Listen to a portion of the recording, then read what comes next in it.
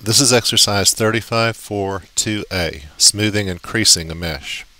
I have begun a new drawing. I have created a mesh box and set my ISO lines on so that you can see them. Turn the grid off. Okay, this is an exercise where we're going to look at the effects of smoothing uh, mesh. We can smooth the mesh with the command mesh smooth more or the hotkeys more. I prefer the easy way where I select what I want to smooth and then I set a smoothness level. Smoothness level 1, level 2. You'll notice that it gets progressively smoother as the smoothness level increases. Now let's set our sub-object selection filtering to edge and select the edges that go around the top.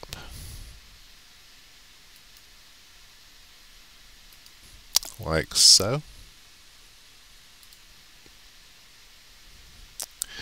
Now that we've selected the edges that form the top, we'll enter the crease command. Okay, the crease command is actually mesh crease. Crease is the shortcut. We will tell AutoCAD that we want to crease the edges that we selected up to level 3. Okay, and you notice that AutoCAD has taken the smoothness out of the selected edges. We'll reset our sub-object selection filtering to off. Reselect the object and let's set the smoothness level to level 4. And you'll notice that even the edges that I selected to crease have begun to show a little bit of smoothness. We told AutoCAD that we wanted to crease these objects only up to level 3. Since we're on level 4, it's starting to show a little bit of creasing now. We'll set it back to level 2, like so. Now, let's try, let's extrude part of our, let's extrude one of our faces. We use the mesh extrude command.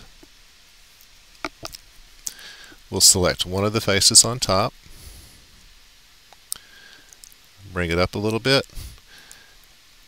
Okay, what this shows you is that when something has been smoothed and you go to work on it, there's not really any telling what you're going to have when you're when you finished. If you're going to work on a particular face, it's a good idea to remove the smoothing first. We can select our edges up here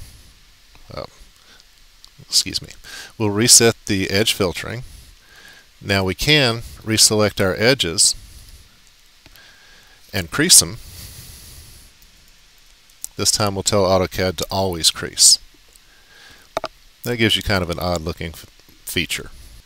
We'll undo all the way back to our box. Alright, now I'm going to set my smoothness level for my box First, let me turn my sub-object filtering off. I'm going to set my smoothness level to 1, just so that I've got a little bit of smoothness on it. Because what I want to do now is I want to try to refine the mesh. When I refine the mesh, if it has no smoothness, it won't refine. I'll select the object, and you'll see that we have increased the number of tessellations that define the object. Now at the end of lesson 32, there were several pages of system variables that would enable you to change the tessellations or the divisions of a mesh before you create it. Right. Let's undo this. Let's try our refine command again, but this time I'm going to hold down the control key and select just one of the faces. And you'll see that I can refine just a part of the mesh. Okay, you can continue if I were to set my mesh up to set my smoothness level, we'll say up to level 4, and do what I just did, you'll see that the higher the smoothness level, the more tessellations you'll, you'll achieve. Best bet is to do the best you can to define the number of tessellations when you create the object. If not, go ahead and smooth the object and select the area that you need more tessellations to work with. You don't need to save this drawing.